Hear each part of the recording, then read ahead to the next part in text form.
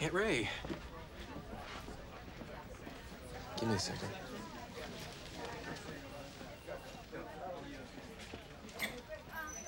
Sorry.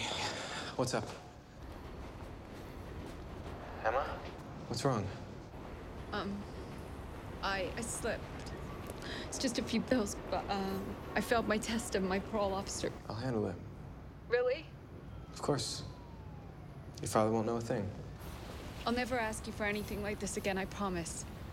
You can ask me for whatever you want. Thank you, Ian. I mean it.